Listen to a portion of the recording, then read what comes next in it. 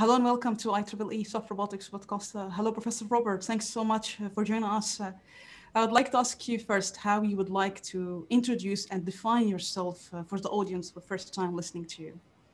Sure, and thank you for the invitation. It's a pleasure to discuss these topics with you. So I'm, I'm Rob Wood. I'm a faculty member in the School of Engineering and Applied Sciences at Harvard University. I have a lab which focuses more on the sort of material side of robotics, and that's been uh, along the lines of robotics at small scales and more recently uh, robots that are composed of compliant materials. Wonderful, yeah. So in each episode we ask about uh, childhood, the signature question. I'm curious how was your childhood, be interested in science or technology? How it was?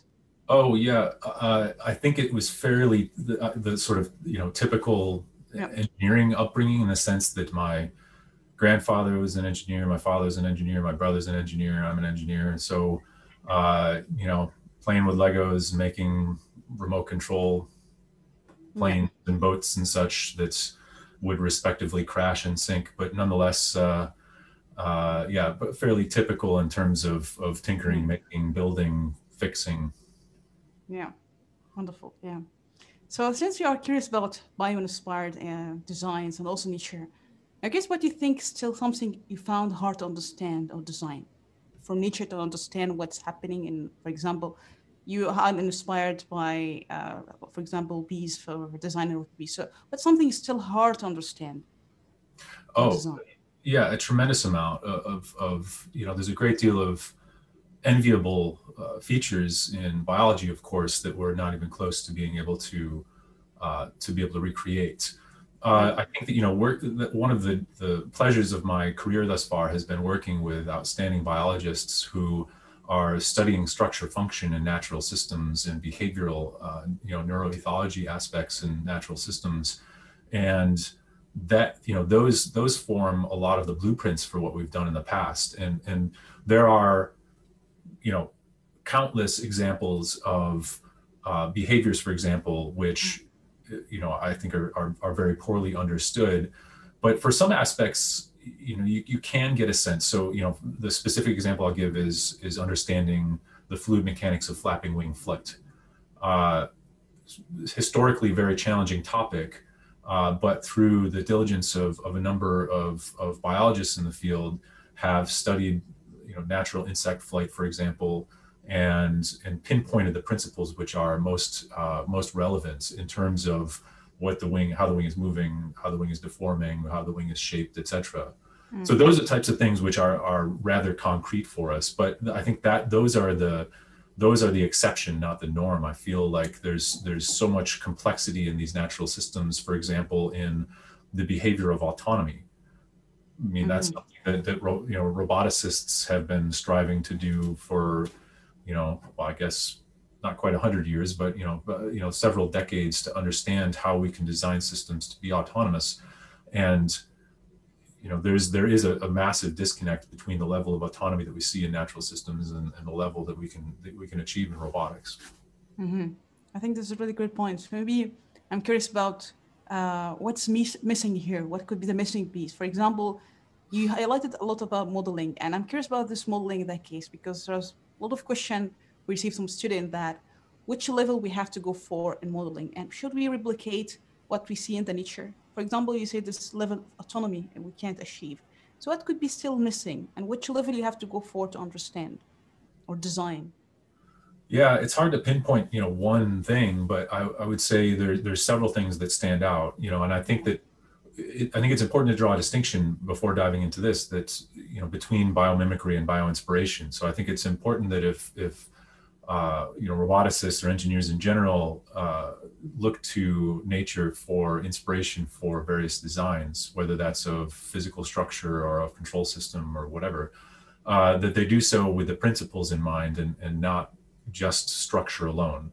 Uh, and so, uh, you know, that said, you know, what are the things where where we lag behind?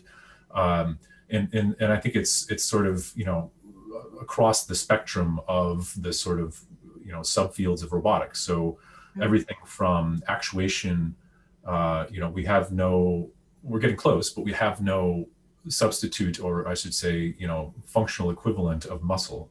I mean, muscle is ubiquitous in natural system and, in, in uh, you know animals, of course, but there is no uh, you know uh, engineering synthetic equivalent that that sort of is able to match all of its properties across the broad spectrum of properties you might be interested in.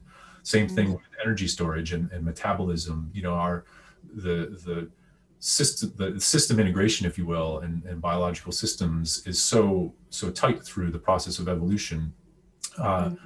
And and we we can't achieve you know the, the levels of efficiency at least you know if we're not talking about wheeled vehicles if we're talking about things that are more uh, you know sort of bio-inspired we can't attain that level of sort of energetic efficiency yet. Uh, you know going to the autonomy piece perception in robotics has advanced you know greatly you know decades worth of slam and and all the way down to you know sensor work and vision uh, has advanced tremendously. Um, yet we you know we, we still don't have a can't nearly reach the level of, of autonomy. And when i when i say what do i mean by autonomy? You know accomplishing a task in an unstructured environment. You know we can't nearly you know come close to the level of autonomy that, that natural systems would achieve. Um, you know if this, this as soon as you go outside a, a very structured uh, sort of environment. So there's many, you know, distilling that those sort of sentiments down into uh, you know research tasks is, is sort of the fun part, right? And and so we, you know, we don't cover you know all of that you know at all of course but you know we, we sort of zoom in on some of the hardware aspects and i think that's where soft robotics comes into play very nicely mm-hmm. that's also a great point so maybe a related question about that what could be area here or maybe direction we have to focus on of research? You're saying it's very promising, but maybe soft robotics community still disagree or we don't have much attention to tackle these issues you mentioned. I mean, I'm a, I'm a hardware guy, so I, I tend to be more focused on the sort of physical components of these, of, of the robots that we create. I think that, you know, over the past decade or, or several decades in soft robotics, has been you know tremendously fruitful in terms of figuring out all the different things that we could build and and some uh, you know really excellent work on how we could power these systems actuate these systems um, but but again going back to my comment on muscle for example there there really you know actuation within soft robotics is is still to me a huge challenge so mm-hmm. you know a lot of soft robots are powered by fluidic systems and, and if and if it's a you know if the task is okay with having a you know fluidic power source and or a tether, um, then then great. Those those fluidically actuated uh, you know soft artificial muscles, whatever you want to call them, uh, have have seen a tremendous amount of success, and, and we we do this as well very frequently with some of the soft manipulators that we're developing and soft grippers. Um, but if you if you can't have this tether for whatever reason, there's minimal uh, you know, there's there's minimal solutions that have presented themselves. You know, dielectric elastomer actuators, for example, perhaps some of the most promising. Some liquid crystal elastomer-based actuators, uh, you know, thermal phase change, etc.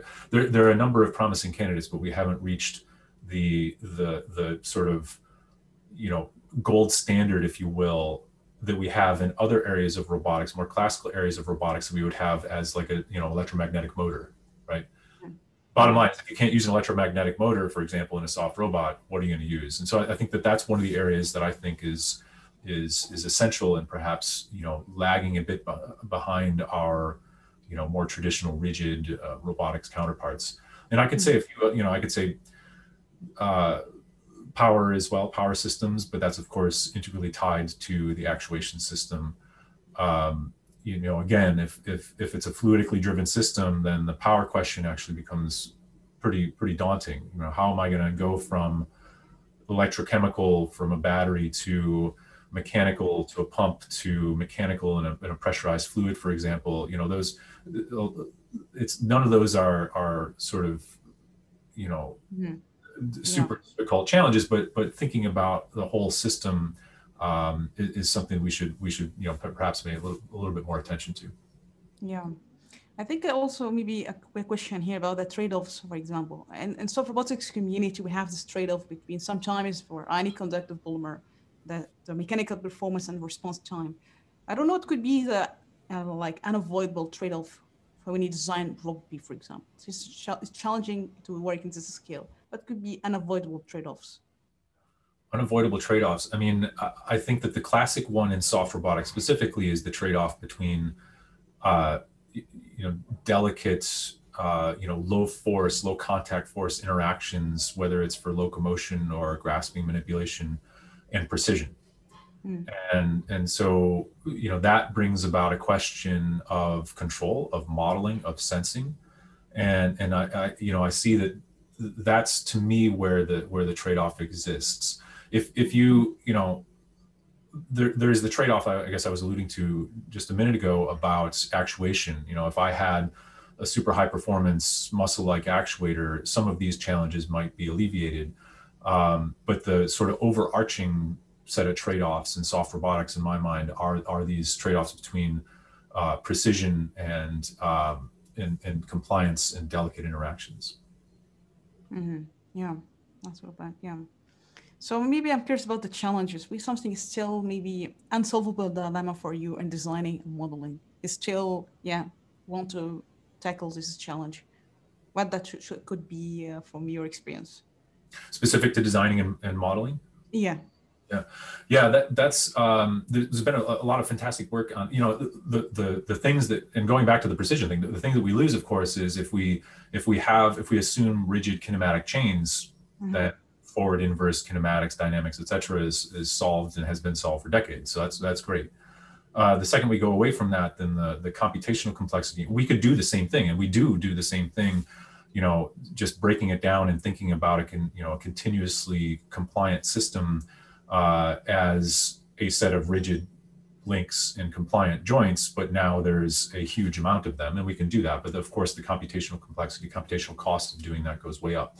So there's another trade-off, I think, is in the sort of precision of modeling versus the precision or versus the the sort of speed of modeling and, and the sort of throughput you could get. And that, you know, on one hand, you know, we we could develop. We, we a lot of people are using finite element techniques for uh, you know, exploring uh, soft devices in, in their designs. That's fantastic. Mm. Um, but the, you know, the iteration time perhaps can start to approach the time it would take to experimentally build one of these things and actuate it, you know, investigate it, characterize it, whatever. So, so I think there's there's a a, a uh, there's some difficulty here in trying to decide where to live in that space ranging from you know precision of a model to speed of a model.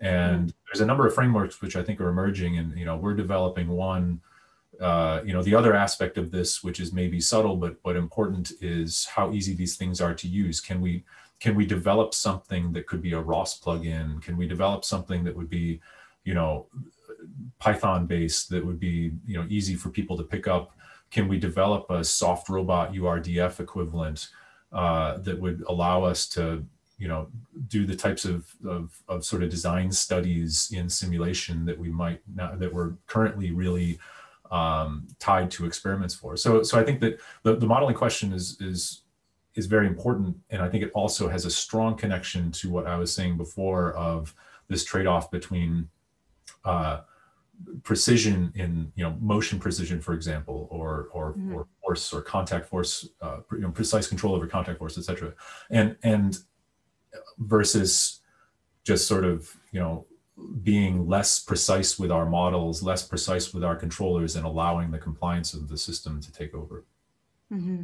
that's a good point yeah so maybe for the material selection do you think we have a, a deep understanding of the smart material and when you select this kind of material is it you think about what could be better for functionality or man manufacturing, how you assess that and what kind of material you aspire to have as well, yep. you think it would be uh, advantageous for your designing? So I think this is where uh, one of the things that's most exciting about soft robotics to me is that we've opened up the door to connections with material scientists. And in, mm -hmm. in a way that, that I, you know, I'll say, for, you know, for my own institution at, at Harvard, very strong uh, historically in, in material science and very strong in particular in soft condensed matter physics. But none of them, I don't think, would call, you know, the, my colleagues there would, I don't think they would have, you know, 10 years ago thought of themselves as roboticists. But now there, you know, there's, there's half a dozen or more people who are developing uh, materials that they're, that they can easily connect with challenges in soft robotics, whether it's, you know, metamaterials that deform in interesting ways, uh, uh, whether it's you know materials that could be useful for actuation, um, dielectric elastomer, you know, different elastomer formulations that would be uh, conducive either for the performance or the fabrication of dielectric elastomers. Novel techniques for additive manufacturing of you know complex topologies of, of 3D of, of, of, uh, soft robots. So so I think that that's one of the the sort of really positive benefits of this thrust in soft robotics is bringing other aspects of science into the robotics realm. And in mm. terms of what I would want in terms of materials, um, I, I, think I'm I'm biased a little bit towards some of our current efforts in studying dielectric elastomer actuators. Uh, and, and so there, there's a number of, it's probably too, you know, too many to get too deep into in, in this discussion, but, you know, we, we do have a, a sort of wish list of material properties that we would want from elastomers, electrodes. I think we're at the stage now for a lot of things, dielectric elastomers being one, but perhaps other soft robot components, be, you know, I could name as well. I could tell you what material properties we want, and I mm-hmm. could tell that, you know, with with pretty, you know, pretty specific ranges on material properties, on dielectric prop, whatever. Uh, and so, so I think that we're in a very good spot now. Now, again, connecting the dots with our material scientist colleagues to try to sort of understand that polymer chemists uh, to try to understand are there are there existing solutions or can we come up with uh, custom solutions for this? Mm-hmm. Uh, I think we're at the stage where we can do that now. Yeah, and maybe here is also maybe yeah our, our argument about the trade-off between or maybe between ionic one ionic conductive polymer and dielectric the, the high voltages do you think one day can combine both of them just to have this feature of low power and also high mechanical performance, for example. Do you think that something could be viable to be done? With uh, with dielectric elastomers specifically, yes, or, ionic the ionic one was dielectric elastomer. Yeah. Yeah. Yeah, I mean, this is another set of trade-offs, and this this also goes back to my comments on on uh, the sort of perfect actuator, the soft actuator, artificial muscle, whatever you want to call it. Uh, it doesn't yet exist, really, right? And because I can find challenges with any one of these, right? So there's maybe it's you know the IPMC type actuators, uh, ionically driven actuators. Great, they have you know low voltages, they're compliant, uh, but the time constants are slow. You know, dielectric elastomers, you know, have a lot of nice properties, uh, reasonably mm-hmm. high energy densities, you know, bandwidths exceeding artificial muscle, but right, they're, they're field driven, so they require relatively high voltages. Um, mm-hmm. so, so I think, you know, I can't speak too much to the IPMC, ionically driven actuator world, but for dielectric elastomers, a lot of it, in my opinion, is going to be driven by fabrication techniques. Can we bring techniques from soft lithography, from uh, even MEMS or IC uh, derived techniques to bear on creating, for example, you know, multi-layer stacks of DEAs where the individual layers have, uh, you know, are several microns thick and are uh, you know, are, are you have uniformities on the order of, you know, tens to hundreds of nanometers. Uh, can we do similar things with, uh, you know, electrodes maybe that are based, you know, what we do is based upon either silver nano, uh, silver nanowires or uh, single wall carbon nanotubes or, you know, whatever. There's, mm-hmm. mm-hmm.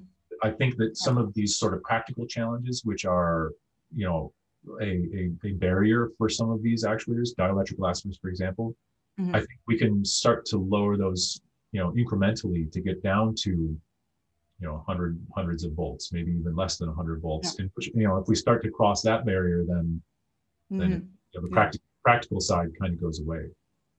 Great, yeah. So I'm curious about uh, since you said a lot of time that we learn from failure, and that's maybe give you a lot of insight as what could be uh, lead to more success in designing process. And I guess where, was in the direction you thought out would work very, very well.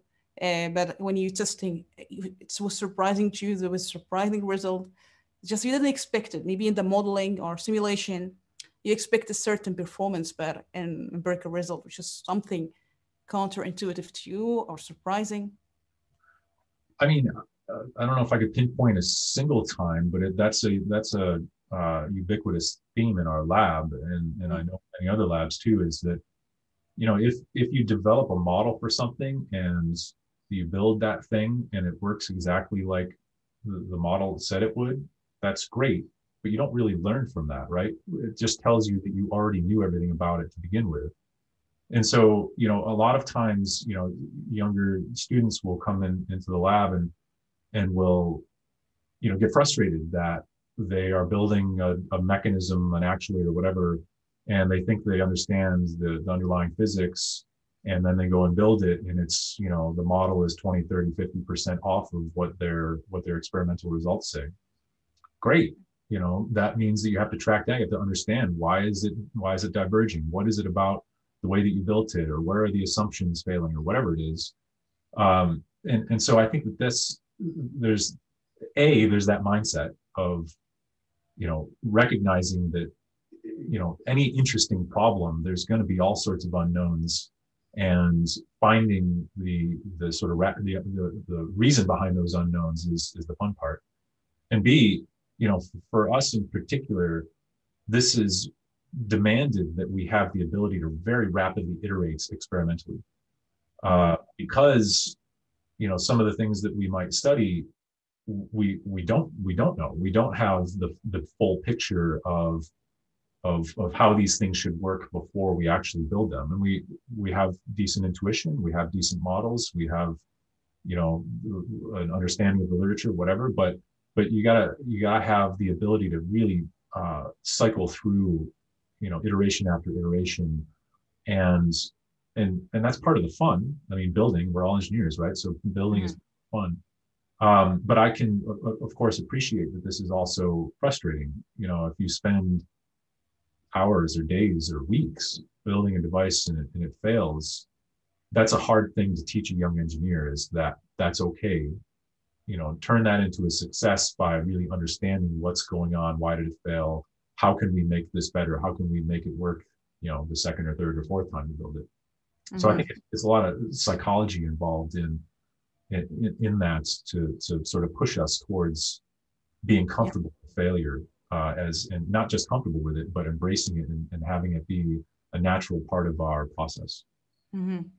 I really like this point, and maybe a quick question here about um, what you said, because I think maybe I don't know if you agree or not, but there's a tendency sometimes, especially in academic environment, the pressure to get a result, and sometimes failure uh, and result is not accepted at all, and you have to publish and uh, because if you make mistakes or failure that mean you're wasting time and uh, and resources.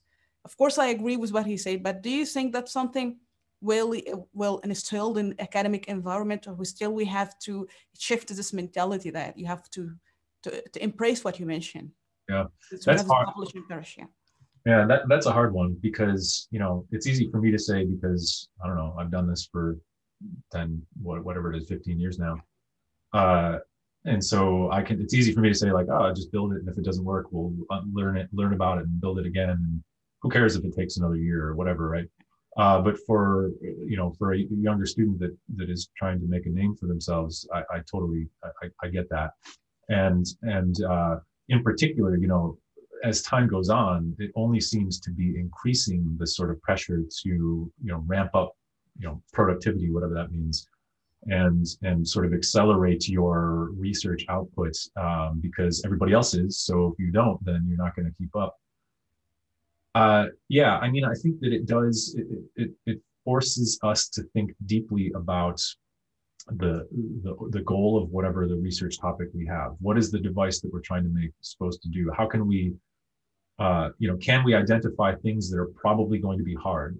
Can we identify things that we could have sort of early, you know, early good results with. And so, so I think there's some design of the research process as well that could help alleviate some of these concerns.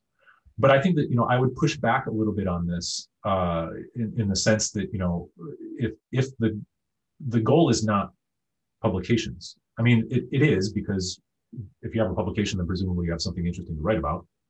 The goal is is the is the basic science and under an understanding of the basic science. So if our goal was just publications, we could, you know, choose a, a, a topic, a, a, device we wanted to build that would be easy to build, and we could write a paper about it and be happy with that, and, and that's that's fine. But that might tend us towards choosing problems which are sort of fast and not easy necessarily, but but quick, right? And and maybe put, might push us away from the hard problems.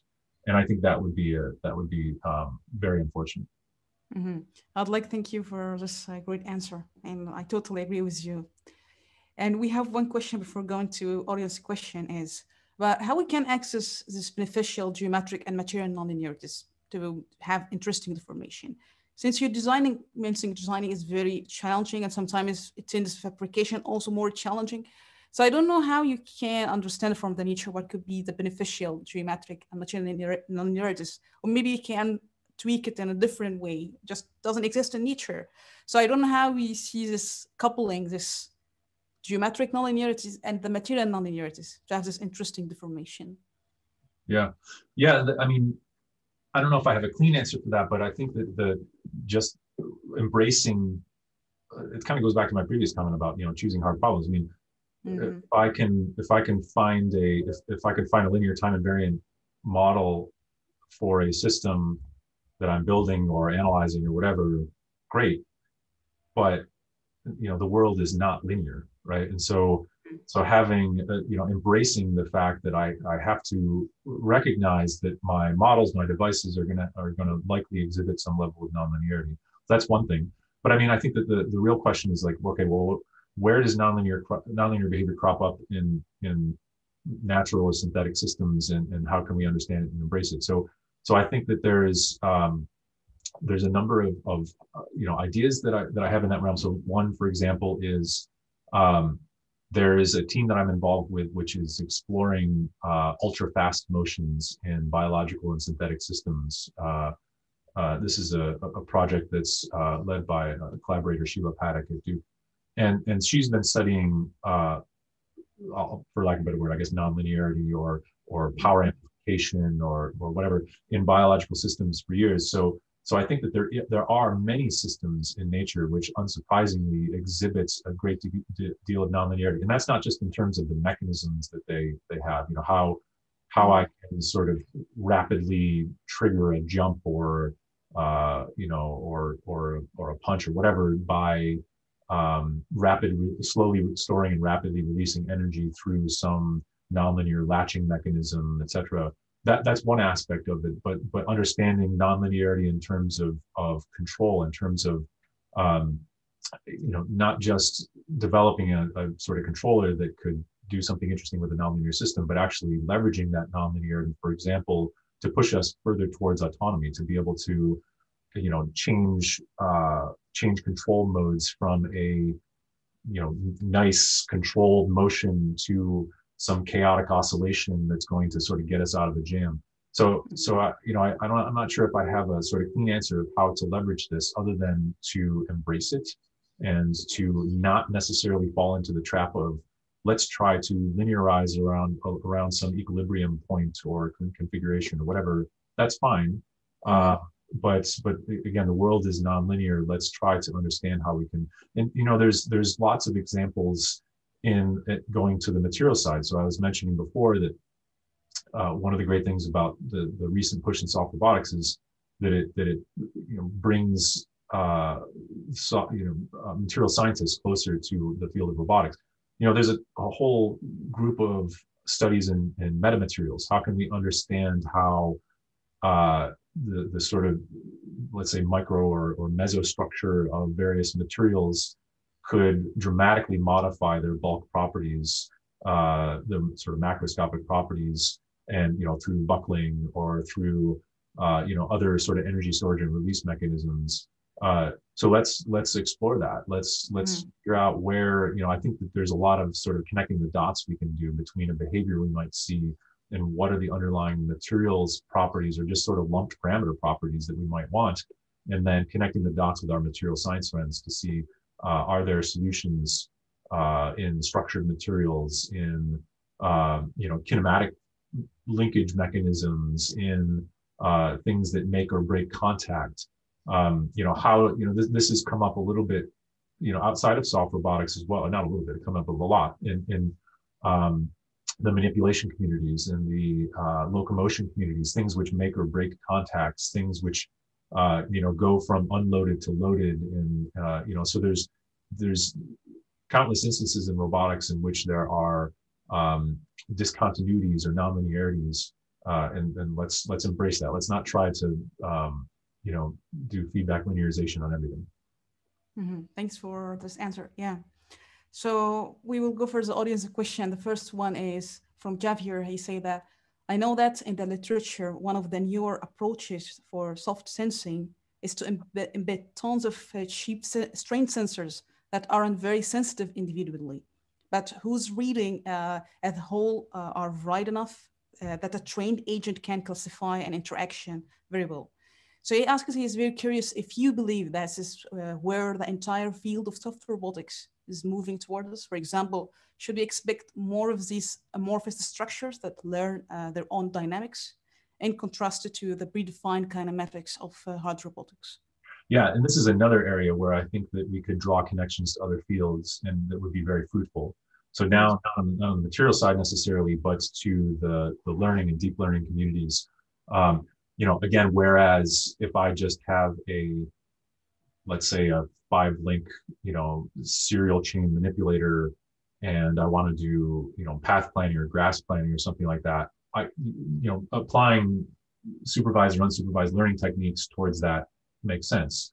Mm-hmm. But now if I have as you're you're describing, if I have a compliant robot that has, you know, effectively an infinite, you know, number of degrees of freedom, and I've I can somehow embed tens or hundreds of sensors, simple like you say, in there. Um, I will presumably do that to the best of my ability as an engineer, maybe using models, maybe using finite element, maybe asking questions about where I want to place these sensors to maximize signal to noise, where I want to uh, where I expect the maximum deformations to be, et cetera. But at the end of the day, how I'm going to make sense out of that is, is likely to be intractable to all those sensor readings. And so I think that this is a fantastic place where machine learning techniques could be brought to bear. And, and, and frankly, I don't see any other way around that. Uh, you know, we we we had a study recently where we were developing um, a wearable sleeve that uh, had now only a few sensors in it, uh, you know, four I think, uh, but they were just measuring sort of very you know small uh, strains in the, the, the wearable sleeve that were due to motion of the underlying musculature, and you know what do we want to do with this? Well, we could use this for you know human computer interfaces or you know gesture recognition. We we, we did a study where we could uh, actually infer gestures that, that the hand was making. So you know reasonably simple gestures etc but but just based upon simple measurements of the, the underlying strain from from muscle movements in the forearm. So how i could come up with a first principles model of going from muscle activity in the forearm to strains, the local strains that would tell me a mapping to what my fingers are doing, it would be very difficult in my estimation. But just applying a very simple off the shelf machine learning technique uh, mm. was, was very simple. Yeah. So I think there's an opportunity there. And that, that's just one example, but I think there's an opportunity there, not just an opportunity, a need there to mm. connect to, to those communities. Yeah. And there's also a question from Pratik. He said, hello, Professor Wood. I'm a mechanical engineer, uh, engineering undergraduate with two years of work experiences in aerospace firm. I'm currently developing uh, computer vision programs uh, for drone software. He is interested in pursuing higher studies in autonomous system, particularly ensuring safety in autonomous system. And he would like to know what are uh, prerequisite or background to study he needs to complete in order to apply universities for this domain. Is there any course or study material that you would recommend? for um, well i mean it's it's broad it's a broad question right because yeah. if, if, i claim that i'm a roboticist then that's great but i i, I probably want to claim you know some some deeper domain knowledge in some subfield of robotics so you know are you a you know more of the controls modeling controls perception autonomy side are you more of uh, you know hardware mechanics materials design manufacturing side um, then I think that the answer would be slightly different. I think that there is, you know, the core courses in, in robotics, you know, the classical courses of which there are a number of textbooks, uh, you know, just to get us all sort of speaking the same language and understanding the history around how we can model serial and mm-hmm. parallel chain manipulators, uh, etc. But then I think beyond that, you go you go deeper into sort of these subfields and start talking about, you know, maybe I'm a roboticist, but I take uh, you know, a linear systems course. I'm, you know, I'm, I'm a roboticist, but I take a, you know, nonlinear control, you know, linear control, nonlinear control uh, courses, sequence of courses.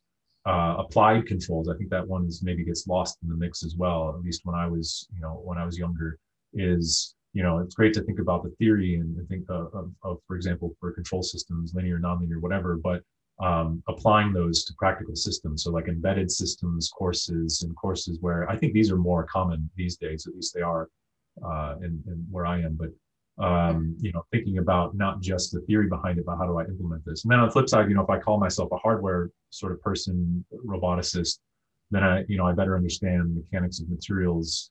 You know, I better understand, um, you know, the the sort of fabric, you know, techniques around, and both from a sort of historical perspective, but also from, um, you know, more modern perspective on how uh, rapid prototyping, you know, various manufacturing techniques, um, understanding various aspects of transduction, how does sensors work, how do actuators work.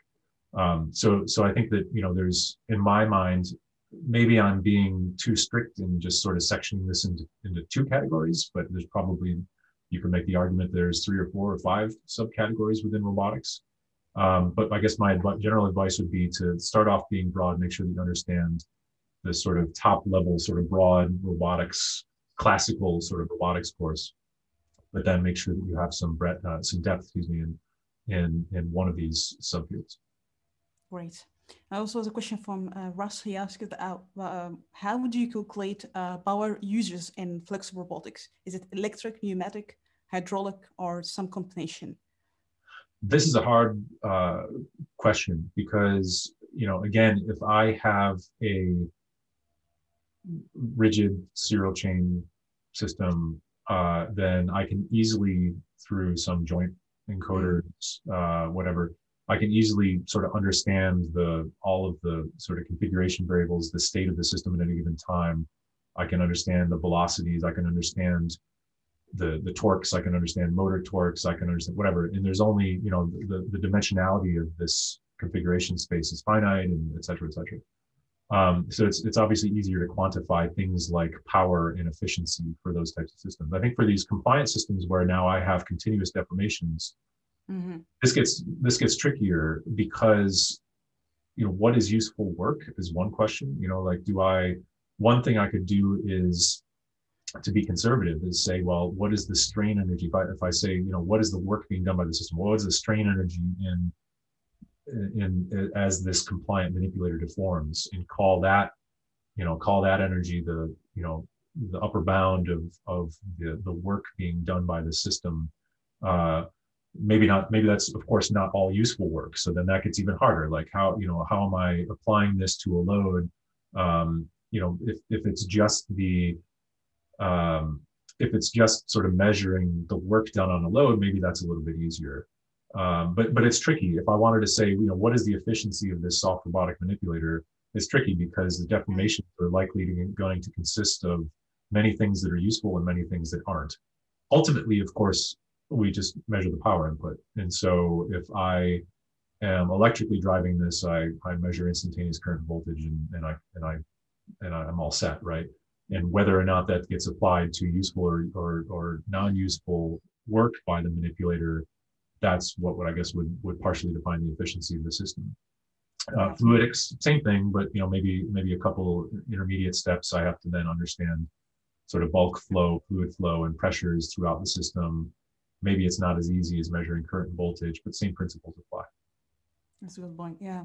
And the other question I ask is also how do you simulate flexible robotics reliably?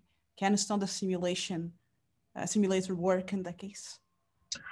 Yeah, we, we uh, I'll I'll give a, a, a, plug, although it's not it's not out yet, but uh, maybe a, a, preview for a uh, a tool that we've been developing uh, that is will hopefully be useful to the broader community.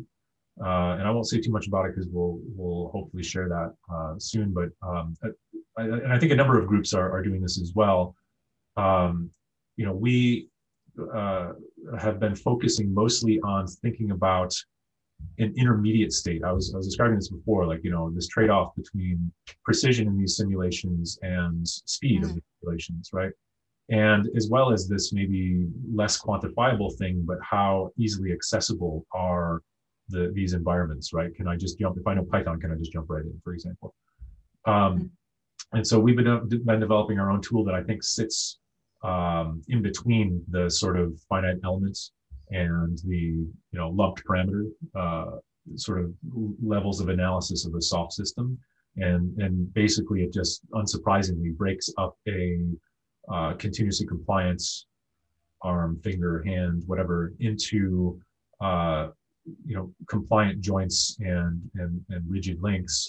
Um, but each of these and each of these subcomponents then can be sort of calibrated uh, by simple experiments. It can be done um, such that you have, you know, however many of these sort of nodes that you want, and um, or how few if you wanted to sort of speed mm-hmm. it up. Uh, and you can sort of so so in this way you can tailor the accuracy of these simulations um, mm-hmm. or the speed of the simulation. So so this these are tools that are um, sort of easy to understand, uh, difficult to build and have them be universal, if that's that's probably not the right word to use, but to be uh, to encompass as many soft robotic morphologies as uh, as we as we possibly could. So these these are things that are under development. I know again, I know other mm-hmm. similar. Hopefully, uh, hopefully these will be more broadly accessible uh, in, in, in, the, in, the, coming months. That's wonderful. I think it sounds cool uh, tool. So yeah, Thanks for sharing that. And the last question from the audience from Jordan, he said that uh, what branches of control theory should engineer looking to work with soft robots or be studying as well? The same also for microrobotics. What are the foundational work for soft robotics to catch up in the field and also for microrobotics uh, as well? Yeah, it's, I mean, for soft robotics, so soft robotics in particular, I think that there's a lot of these questions about modeling. Can I come up with a with an analytical model that mm-hmm. capture the dynamics? I think that's maybe a little more important than thinking about exactly what control, what sort of control style I would have. But in from our experience in microrobotics and and undoubtedly from our experience in soft robotics, there's always unmodeled errors, right? There's always unmodeled components that um, we just didn't quite get the physics right. And, and so that's, again, we should embrace that. We should, you know, that's not, that's not necessarily a bad thing. Uh, and so what we've tended towards in our, in our control systems are adaptive controllers, which can, which can, you know, reliably compensate for, for, for some of those unknowns. So, so adapt, you know, adaptive would be my sort of default go-to. Um, uh, but yeah, but I think again, the, the modeling side uh, strikes me as, as the first and, and most important aspect. Great. Yeah. So it closing hand and have few questions left. The first one, what is your aspiration? Maybe your research and also life in general, what your aspiration is? Uh, I mean, so specifically the field of soft robotics, getting you know robots out of factories and uh, you know warehouses and highly structured environments very successful. Don't want to take anything away from from that field of robotics. That's mm-hmm. and that that's catalyzed countless innovations and uh, you know really brought the field to to where it is today. Um, but uh, what I'd like to do is get robots out of those environments and specifically into homes and hospitals. And uh, so I think you know software. There's there's many ways you could envision doing this, making mm-hmm. perception autonomy questions easier, safety aspects uh, better. Another way to do that is to think about these non-built environments or even human-centric environments as delicate, right? And so, uh, you know, so one way around the the sort of some of these safety issues would just be compliance. I know that that's this is sort of the point, right? This is the point of soft robotics is to think about, well, you know, if I have something which is compliant, then it's less likely to break something delicate but now it's actually you know th- that's that's becoming true. I mean for example we've teamed up with marine biologists and we are now bringing soft robot hands down to the bottom of all the world's oceans and uh, you know manipulating probing discovering uh, you know things which which we couldn't do with with rigid robotic manipulators. So that's an extreme example of you know where where would i want to sort of put these soft robots? Um, and you know, I could argue that you know if I can if I can develop systems, soft robots, soft hands that can go to the bottom of the ocean, then surely we should be able to build something that can, you know, pick mm-hmm. produce that can, uh, you know, make me dinner that can, uh, you know, hold a surgical tool while the surgeon's hands is doing something else. You know, so so I, you know, these are these are the things that I those are the things that really excite me is to think about how the field can be brought to more unstructured human-centric environments, uh, and that's where I see. Maybe it's an obvious statement, but that's where I see the strength of soft robotics. Yeah, thank you for that. Yeah. And do you think ego is important for you when you have these new ideas to convince people but when you are a junior, maybe do you sense this ego for you to important to convince people about what you do? The the e- ego side, like the yeah. personal sort of. Yeah, the ego. Do you think it's important for you sometimes when you try to yeah have new ideas or yeah?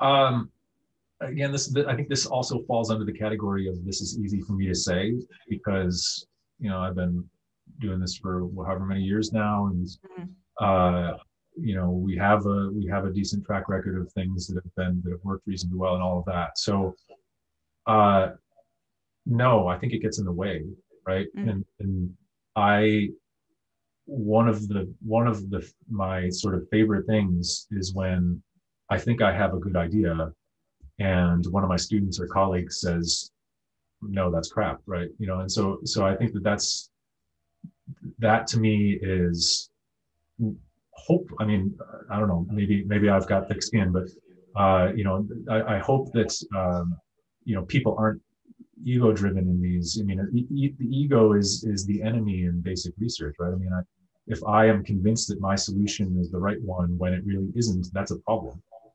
and and so you know i think that it would be wonderful if we had a mindset where we can share ideas respect each other of course respect mm-hmm. where these ideas are coming from, respect the people behind the ideas as ultimately the most important thing. But in the end, hopefully recognize that some ideas aren't going to work. And this goes back to the failure thing too. Like, you know, I got a great idea. I build it. Mm-hmm. It's not a great idea. Okay, great. So that that's fine. You know, I learned from that. And hopefully when my colleagues call me out and say, no, that's that's that's a terrible idea, like hopefully I learn why that's a terrible idea. So but I you know I ego is the enemy in, in my estimation. Yeah, I totally respect that. Thanks for thinking that as well. Yeah. And uh, two questions left. First one, what is the most important quality you have gained while working in academia? And you have to maintain. Um, well, I have a, a, um, a largish group of, of students and postdocs uh, that, that work in the lab. So to me, you know, the, the, the, the, the most important quality I mean, I'm assuming that that they're all technically skilled, and they are. So let's assume that uh, you know that everybody involved is technically skilled. So I don't, you know, it's not like what's the most important quality? Oh, an understanding of you know nonlinear control systems. No, like let's assume everybody's technically skilled. Um, the ability to work as a team and basically, you know, kind of to the past point, put the ego aside, recognize that we're working on problems which are which are difficult enough that no one of us is going to solve these therefore we have to work together and not just within our group but outside of the group and, and academia more broadly and and so how can we recognize can, can we recognize that i mean that that's that quality of of humility of of uh, you know recognizing that other people have good ideas and let's listen and work well as a team. That is by far the most important to me personally. Great. Yeah. And lastly, what was best advice was given to was a person, a professional that was life changing? Uh, hmm.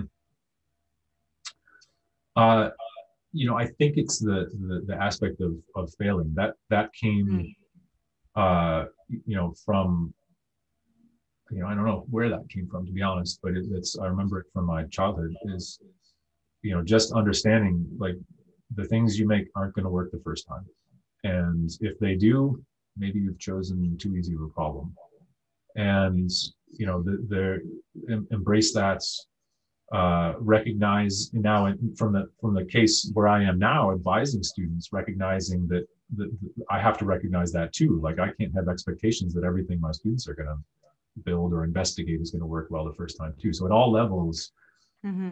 um, you know that recognition, that sort of you know learning experience uh, was the most profound for me. That's right. I really like this point. Yeah. And finally, do you have any final words or thoughts for the Robotics community you would like to say?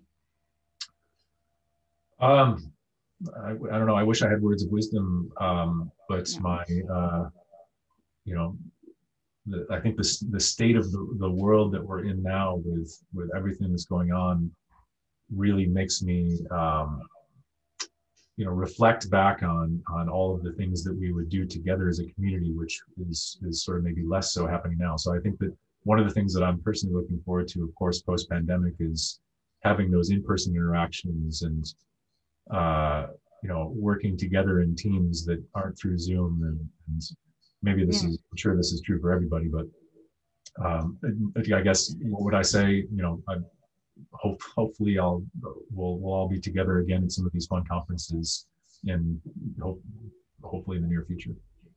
Yeah, I, I wish the same as well. So thank you once again, Professor Robert. It was very yeah inspiring and such an honor to have you in the podcast. Yeah, it's a pleasure to have you. Thank you. Thank you for your time. Thank you so much for having me. It's been a pleasure talking. Thank you. Thank you.